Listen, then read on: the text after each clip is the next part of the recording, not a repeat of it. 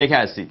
افشین هستم با صد یکمین برنامه آپوزیت این برنامه به صورت هفتگی و بعد فصلی اطلاع رسانی تهیه میشه. هفته گذشته ما یک دفعه متوجه شدیم که صلح همه جا برقرار شده و از این بابت ایرانیان خیلی خوشحالند. به همین دلیل با خوشحالی هرچه تمامتر اخبار هفته گذشته را پیگیری کردیم. در این برنامه به مدیریت زمینکاری بحران مدیریت بحران صد بیابی و شورابی و بالاخره سخنان آقای بزرگ در دیدار با دوستداران منطقه‌ایشان و چند خبر دیگر در این بین پرداخته می شود هفته گذشته همینجوری که داشتیم اخبار گوش می‌کردیم در نهایت صلح و دوستی آرامش یک دفعه متوجه شدیم. گزارش تکان دهنده از زمینخواری در گردنه حیران. زمینخواری که شب و روز داره تو کشور اتفاق میفته. هیچ کس هم تکون نمی‌خوره. حالا این یکی چرا تکان دهنده بود؟ پرونده زمینخواری یق سفیدها روی میز ستاد مبارزه با مفاسد اقتصادی. که دارای قدرت و نفوذ سیاسی بودن اونجا شروع کردن به ویلاسازی شروع کردن به ساختمان های میلیاردی. آهان چون این دفعه خود مسئولین مستقیما رفتن زمین ها رو خوردن. بدون شریک. خودشون مستقیما این افراد صاحب نفوذ از کجاها بودن؟ از مجلس هستن حالا گذشته حال فرقی نمی‌کنه. از دستگاه های اجرایی افراد به هر حال اینجا رو کسایی می‌تونن بسازن که آدمای با قدرتی باشن. بلد هستن چه بکنن؟ نمایندگان مردم در مجلس که مثلا قرار از حقوق مردم دفاع کنن خودشون رأسن و مستقیما اقدام کردن به خوردن زمین هایی که متعلق به همه مردمه. عجب نظام عدالت گستری الان مسیر دریای خزر به طول 384 کیلومتر از آشوراده تا آستارا اون طرف ارشد دریا رو جاده رو کلا ساختن. این طرف جاده رو کلا این 384 کیلومتر ساختن. حالا ریختن در روستاهای شمال. اونجاها هم دارن می‌سازن. زمانی که پیکنی داره شروع میشه برای تجاوز به اراضی کشاورزی همون وقت اقدام بشه. به آخه نمیشه. چون در تمام این 384 کیلومتر اون مسئولینی که باید اقدام می‌کردن یا خودشون مستقیما شریک اون ساخت و سازها بودن یا از بابت اون ساخت و سازها یک معنویات پروپیمونی بهشون می‌رسیده که دست و پاشون اساسا برای اقدام کردن بسته.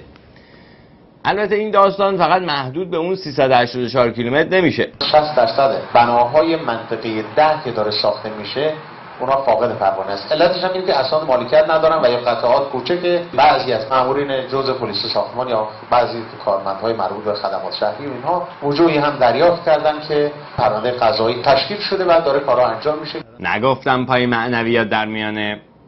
البته ماموران جز بودن. ماموران کل که از این کارا نمی‌کنن. به هر حال ایشون دادستان کرج بودن. 60 درصد خونه های یک منطقه در کرج یعنی بیشتر از نصف خونه های یک منطقه غیر مجازن. این فاجعه فقط در یک نظام مقدس می‌تونه رقم بخوره. حالا اینجا منطقه ده کرج بوده خونه ها کوچیک بودن. معنویات در حد معمورین جزء توضیح می شده در گردنه حیران که ویلاهای میلیاردی ساخته شده سطح معنویات تفاوت داشته. از شهرهای دور و نزدیک اومدن اینجا ساختمان سازی کردن. چند تا ویلا درست شده تو این دهتون؟ از هزار تا بیشتر. 46 مورد پرونده کسانی که حالا بدون مجوز یا با مجوزهایی که می‌تونه به مشکلاتی رو داشته باشه خب بخش سرسبزی و زیبایی اونجا رو تبدیل به ساختمون کردن یا تعرض به زمین هایی که شاورزی داشتن. مردم منطقه میگن بیشتر از هزار تا ویلا ساخته شده اینجا. بعد استاندار گیلان میگه برای 46 مورد پرونده تشکیل شده. یعنی حتی 5 درصد اون ویلاها هم مورد نداشتن که براشون پرونده تشکیل شه. زمان اینجا کلا یوندزار بود. ده سال پیش.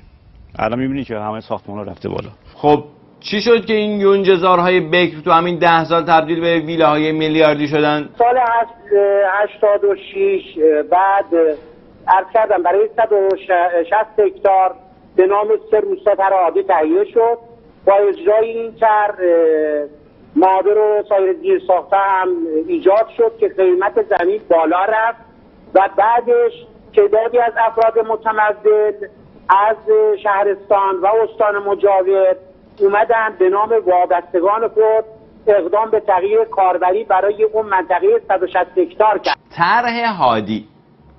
طرح هادی طرحیه برای رشد روستاها متناسب با امکانات و جمعیت روستا. بر اساس این طرح مسئولینی که خودشون مجری طرح هستن به روستاهای خوشاب هوا هجوم آوردن. درست مثل یک ارتش قاسب. و خلاصه زمین های اطراف روستاها که متعلق به منابع طبیعی یعنی همه مردم ایران هست رو ابتدا تبدیل به زراعی می‌کنن. و بعد از اون براش تغییر کاربری به مسکونی صادر می‌کنن. تو همین حیران میخوندم روستایی که 300 نفر خانوار داشته الان شده هفت برابر اسکان موقتش. 2000 خورده ای نفر. خب هفت برابر شده. آیا خلاف مقررات جاری شده یا نه؟ برابر طرح هادی شده. اهالی اینجور روستاهای کوهستانی معمولا بیشتر زندگیشون از راه دامپروری میگذرونن تا کشاورزی. بنابراین زمین زراعی آنچنانی ندارن. اما در عوض مسئولی نظام مقدس به دلیل خوشاب و هوا بودن روستا به اونجا هجوم میارن و جمعیت موقتش رو هفت برابر افزایش میدن. اگرچه ویلاسازی در حیران از زمان اجرای طرح هادی روستایی شروع شده اما این ساخت و سازها پارا فراتر از طرح هادی گذاشته. درست حد مرز طرح هادی با خارج از طرح وایستاده. حالا این خارج طرح خیلی ساختمون سازی شده بله رفتن کمیسیون ماده یک تفسیر یک ماده یک امور اراضی تغییر کاربری گرفتن. توجه فرمودین؟ همش قانونیه. حتی اگر خارج از طرح هادی هم یه کوه خوشگل مشکلی ببینن که ویلا خورش خوب باشه میرن برای اونم تغییر کاربری می‌گیرن. از کمیسیون مادیه که تغییر عراضی. اما از همه بدتر شرایطی که برای زندگی همون 300 خانوار اولیه به وجود میارن. الان یکی بمیره شما می‌تونی پیاده بری برو. نمی‌تونه بری که بابا جاده را گرفته قبلا از کدوم ور می‌رفتیم راهدار جاده داره دیگه الان بستن. بسته دیگه فنس کشیده. مهمانان ناخوانده گردنه حیران حتی آبی برای مردم منطقه هم باقی نگذاشتهاند. آب نداریم اینجا. بیلانیشه ندارن. اونا که ارباب هستن میان اومدن پر کردن. آب باشه خودشون کشیدن ما موندیم بدون آب. البته ماجرای حیران فقط در حیران ختم نمیشه بلکه این تراژدی در دیلمان و دیگر مناطق استان هم در حال اجرا. دیگر مناطق استان نه دیگر مناطق کشور. از سواحل دریای خزر در شمال تا سواحل خلیج فارس در جنوب از خراسان در شرق تا آذربایجان در غرب از کردستان تا سیستان و بلوچستان همین تراژدی در جریانه. آلمان نازی هم همچین بلایی سر کشورهایی که بهشون تجاوز کرده بود نیاورد. اما هفته پیش همینجوری که داشتیم از صلح لذت میبردیم باز دوباره تکون خوردیم. این دفعه راست راستی تکون خوردیم. اطراف تهران دیشب شش بار لرزید. این زمین لرزه ها در منطقه جوادآباد ورامین در حاشیه پایتخت رخ داده و اونطور که مؤسسه ژئوفیزیک دانشگاه تهران گزارش کرده بزرگترینش به بزرگی چهار و یک دهم ریشتر ساعت 23 و 12 دقیقه دیشب رخ داد که خوشبختانه تلفات و خساراتی نداشته. بله یک زلزله خفیف در اطراف تهران. که خوشبختانه خسارات و تلفاتی در بر نداشته. اما این زلزله سبب شد تا خبرنگاران مسئولین نه خبرنگاران یه نگاهی به امکانات کشور بندازن. تا ببینن اگر این زلزله خفیف نبود آمادگی براش بود. اگر خدایی نکرده در تهران زلزله بالای هفت ریشتر بیاد چه اتفاقی میفته من امیدوارم این تحقق پیدا نکنه.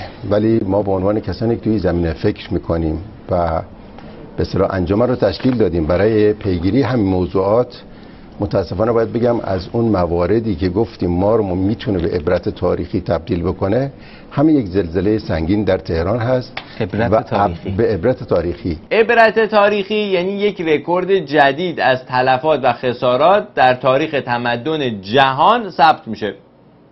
چرا ما به عبرت تاریخی تبدیل میشیم اون موقع؟ ما متولی قدرتمند متمرکز توانمند نداریم در کشور. حتی در زمین اطلاع رسانی. حتی در فرقی نمی‌کنه. و چرا ما متولی قدرتمند توانمند متمرکز نداریم در کشور؟ وقتی شما این رهبریت نیست وقتی یه پدر خانواده یه پدر قوی ندارد یا پدر اصلا ندارد در بحث مدیریت بحران. در بحث مدیریت بحران فرقی نمی‌کنه آقا در بحثای دیگه هم همینطوره. میفرمودی. چون میگه 17 که شما تا دست چند تا 16 17 تا. دستگاه هستش که در حقیقت زیر مجموعه سازمان مدیریت بحران متاسفانه ب... یعنی مرتبطه زیر مجموعه ولی که هیچ کدومشون هم- با هم هماهنگ نیست قطعا هم هماهنگ نیستن چون این اقتدار کافی وجود نداره و زیر مجموعه ها قطعا هماهنگ نیستن. من اینو به شما عرض کنم.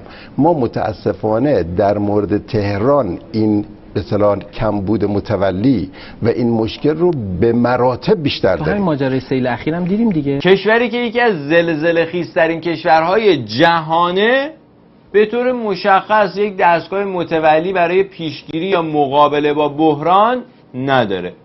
مخصوصا در پایتختش که روی یک سلسله گسل ساخته شده. برای همین عبرت تاریخی میشیم.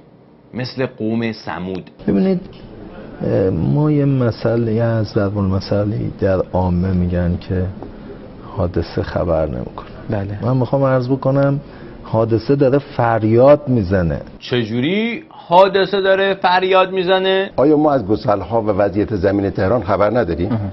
آیا از زلزله زیزی خبر نداریم؟ آیا از تراکم جمعیت تهران خبر نداریم؟ آیا از کوچه پس کوچه هاش نمی‌شناسیم؟ همه اینا یعنی آسیب پذیری موجوده و خطر هست. چجوری؟ حادثه داره فریاد می‌زنه. سی و شیش سال وقت بوده تا به فریاد حادثه رسیده بشه توسط مسئولین نظام مقدس. یعنی همین مسئولین که الان مسئولن سی و شیش ساله که مسئولن. حالا رسیده شده؟ تفکر بر این بود که ما بیایم و بنا رو بر پیشگیری بگذاریم. خب. و بر اساس همین یه سری ایستگاه های لرزنگاری هم در سطح کشور پیش بینی شد. ما حدود 250 ایستگاه در سطح کشور باید می داشتیم. 50 تا از این ایستگاه ها راه اندازی شد. و 70 تا دیگر از این ایستگاه ها تجهیزاتش خریداری شد. از سال 86 تا به الان هنوز تو گمرک هست از سال 87 تا الان. عجب. واقعا هم عجب.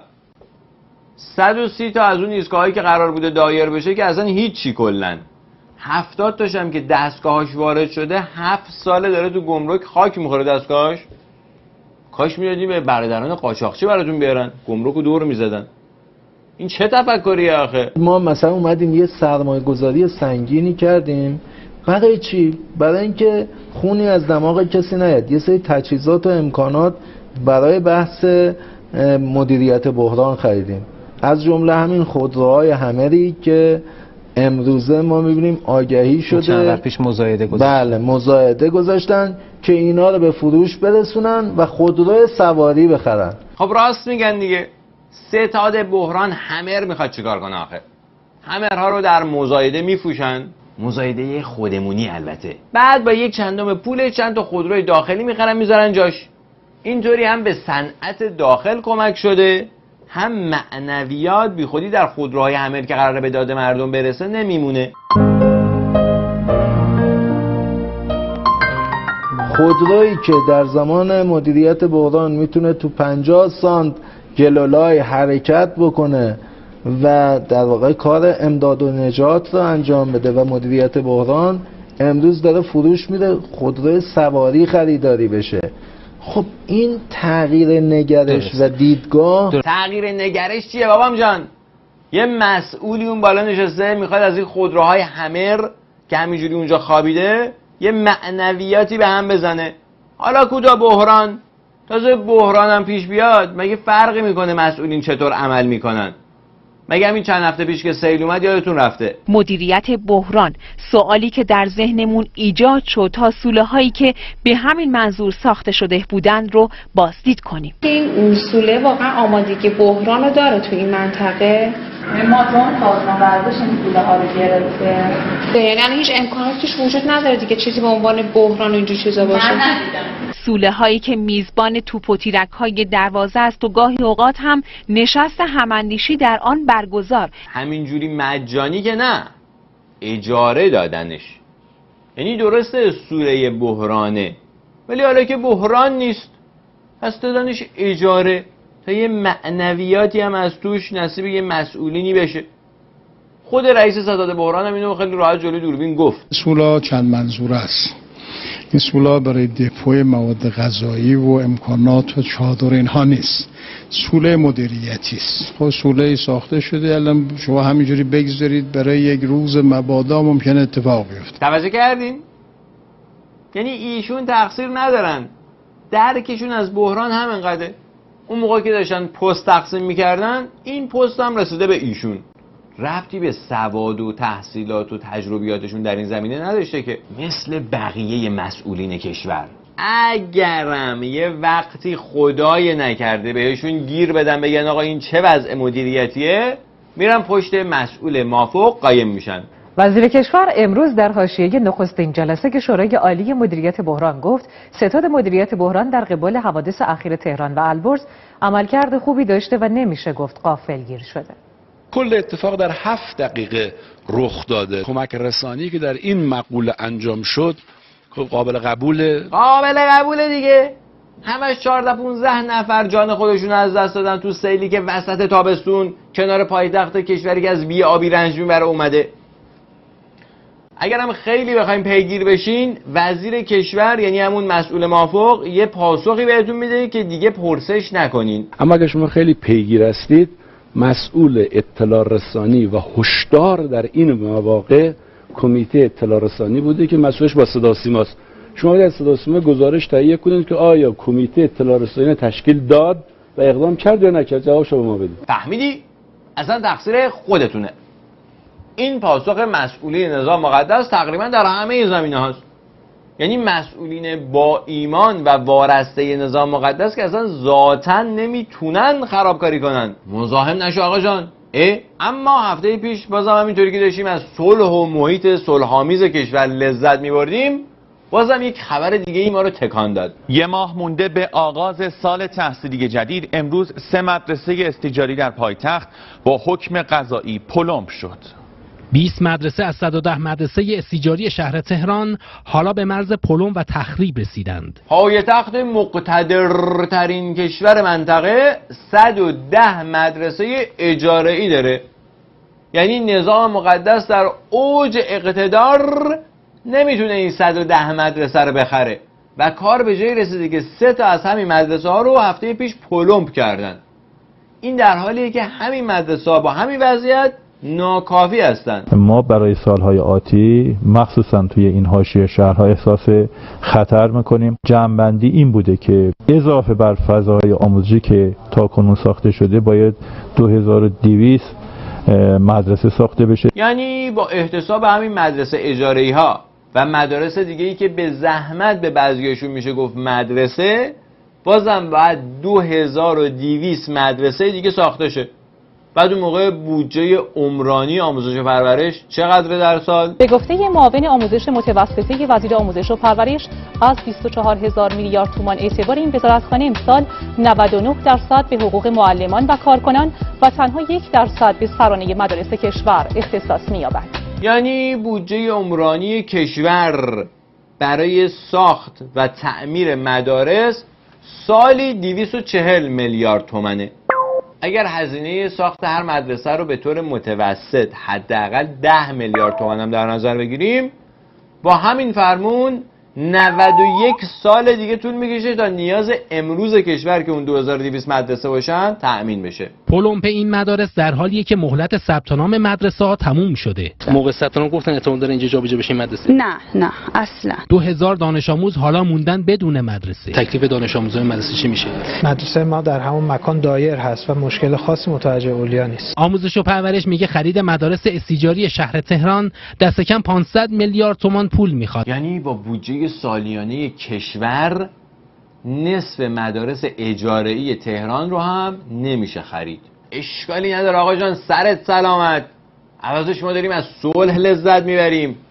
من این ندیدین خودمون مسئول آموزش پرورش هم گفت مشکل خاصی متوجه اولیا نیست. حالا کلاس سی نفره رو پنجاه نفره برگزار می‌کنیم. اب نداره. به صلح فکر کنید. دقدقه های دو وزیر در نشستی مشترک.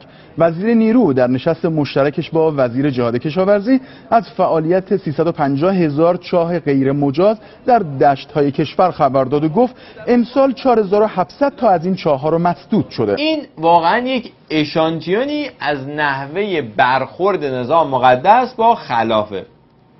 از 350 هزار چاه غیر مجاز 4700 تاش مسدود شده. شرط میبندم همین تعدادم مربوط به اونایی میشه که معنویاتشون رو نرسوندن. یعنی حدود 88 درصد دیگه از اون چاهای غیر مجاز همینجوری دارن آب از دل زمین می‌کشن بیرون. مسئله دیگر از علل این بحران ورود فاضل ها به منابع آب کشور هست. همین آبهای آلوده مورد استفاده مردم قرار خواهد گرفت. چه به صورت شرب مورد استفاده دام قرار می‌گیره مورد استفاده برای کشاورزی قرار می‌گیره. عیب نداره بابا به صلح فکر کنید. عمق چاهای مرتب بیشتر داره میشه آبها داره شور میشه. این آب شور رو مجبورن کشاورزا می‌کشن میریزن توی زمین کیفیت خاک رو هم خراب می‌کنن. بسیاری از باغات ما و زمینهای ما خشک شده. خب بهتر. عوضش راحتتر میشه از کمیسیون ماده که تغییر عراضی تغییر کاربری گرفت براشون و توشون ویلا سازی کرد. وزارت نیرو وقتی که صد کرخر رو ساخت پیش بینی شده بود که حدود 7 میلیارد متر مکعب اینجا ذخیره آب داشته باشیم. البته هیچ وقت این به 5 میلیارد متر مکعب هم نرسیده. چند ساله که این صد عظیمی که ساخته شده و نیروگاهی که داره یک کیلووات ساعت برق نتونسته تولید بکنه. چرا؟ چون که سطح آب به جایی نرسیده که حتی بتواند نیروگاه رو به حرکت در بیاره. عوضش یک معنویات چاق و در جیب قرارگاه خاتم الانبیا ریخته شده از محل ساخت همین حالا آب به اندازه چرخش توربین های نیروگاه سطح هم پشت سد جمع نمیشه؟ خب نشه. در عوض سپاه پاسداران انقلاب اسلامی با این پول که از محل ساخت اون صد درآورده اهداف صلح طلبانش رو جلو می‌بره. رودخانه سیمره صدی ساخته شده چند ساله که نیروگاهش ساخته شده. امسال به زحمت فقط این نیروگاه ها به قدری گردش کرد که بتونن تست ها رو انجام بدن. البته معلوم نیست این اشتباه که باعث خاک خوردن کلی سرمایه شده به دلیل کوتاهی کارشناسا بوده یا اینکه خشکسالی مسئولا رو غافل گیر کرده. عجب سوالی می‌کنین ها. خب معلومه خشکسالی مسئولان رو غافل گیر کرده دیگه. اصلا صد که نمی‌زنن برای نیروگاهش. از قدیم گفتن صد می‌زنن که آب پشتش جمع شه. که جمع هم شده. تبخیر پشت صدها رو باید براش فکر بکنیم؟ اینا یواش یواش اینا رو کنار هم می‌ذاریم. مجموعش یواش یواش ممکن است یه روزی برسه به میزان آبی که به کشاورزی می‌دید و چون میزان آبی که به کشاورزی داده میشه سال به سال دارد کاهش پیدا می‌کنه. ایشون هم وزیر کشاورزی کشور هستن نه عامل استکبار. البته کاش صدمه این تبخیر آب پشت سدها به همین هدر رفت منابع محدود آبی کشور ختم می‌شد. و حمله گلسنگ ها به سربازان سنگی تخت جمشید. از 260 نوع گلسنگ شناخته شده تو دنیا تا حالا حدود 60 نمونه در تخت جمشید شناسایی شدن که برخی عوامل محیطی رشد اونها رو سریعتر کرده. به محض اینه که این منطقه مرتوب بشه اینا شروع می‌کنن به فعالیت. و بعد از مدتی می‌بینین که خود سطح سنگی که زیر گلسنگ قرار گرفته به صورت یک پودر در میاد. دلیل اینکه اون منطقه یعنی منطقه تخت جمشید یه دفعه بعد از 2500 سال مرتوب شده و این گلسنگ ها اونجا رشد می‌کنن تبخیر آب پشت یکی از همین سدهای های بیخاصیته. صد سیوند. صدی که به اصرار اسفندیار رحیم مشایی ساخته شد. که اتفاقا رئیس میراث فرهنگی وقتم بود. هر کسی با اسرائیل مبارزه کند و رژیم صهیونیستی رو بکوبد و مقاومت رو تایید کنه ما از او حمایت می‌کنیم. انواع حمایت هایی که برای ما ممکن باشه. بله. یعنی حداقلش حمایت مالیه. حالا مدرسه های کشور به خاطر کمبود بودجه دارن رو سر بچه های کشور خراب میشن.